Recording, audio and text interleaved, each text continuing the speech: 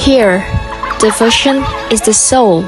With the tireless spirit, we need the hopes and wave the future. Every drop of the sweet is love for this land.